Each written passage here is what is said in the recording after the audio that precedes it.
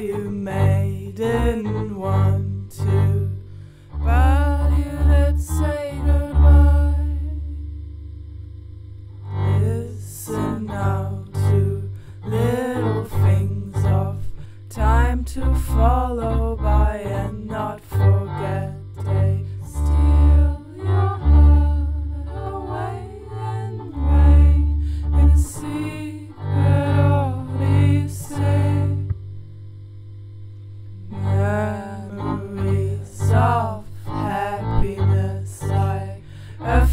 one that crushes you into the ground and heaviness as memory.